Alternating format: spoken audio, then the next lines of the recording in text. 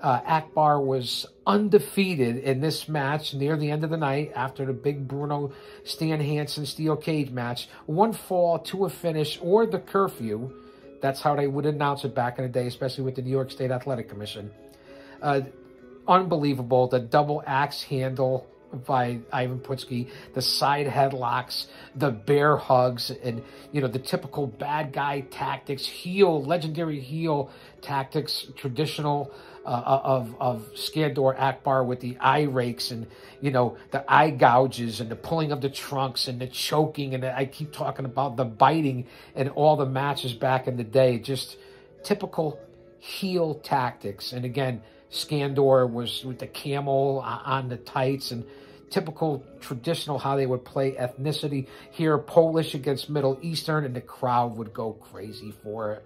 And, and Putski, what he did for these cards back then in the 70s, one of the biggest talents in crowd reactions, along with uh, Strongbow and, and, and, Bruno and, and Pedro Morales and, and certain guys that really got the reactions from the crowds. I can't say it enough compared to what it is here in 2023. And this is, you know, 30, 40, 50 years ago. Uh, just think about that.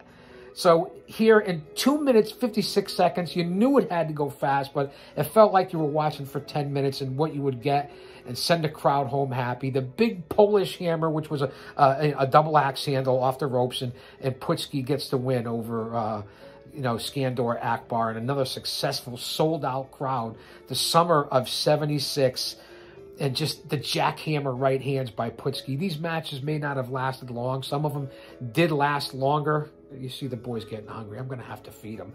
So we're going to end up episode 5 here from April 7th, 1976 from the Garden here at Chaos Corner with the boy Emilio and the GOC. We'll be back damn soon with episode 6, the old school OG podcast with the Guardian of Chaos. I'll say that to say this. What a time. Don't you dare miss it.